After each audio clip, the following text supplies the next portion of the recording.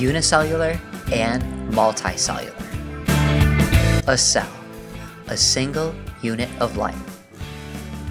Cellular, to be made of cells. All organisms are made of cells.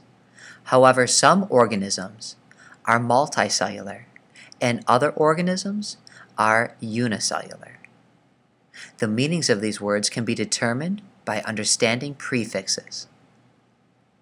A unicycle is a bicycle with one tire. A guy with one eyebrow has a unibrow. In both cases, the prefix uni was used as the word one. A unicellular organism is a living thing that's made of one cell.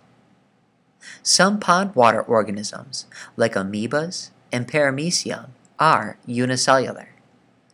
These organisms never get bigger than one cell. However, when they do multiply through cell division, it is a form of asexual reproduction. The word multicellular can be better understood by looking at the prefix. Multimillionaire is a person with many millions of dollars. The word multicolored describes something having many different colors. In both cases, the prefix multi was used as the word many. A multicellular organism is a living thing made of many cells.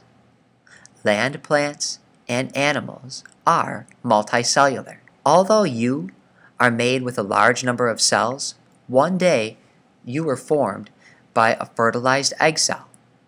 That cell developed through the process of cellular division to become the complex organism that you are today.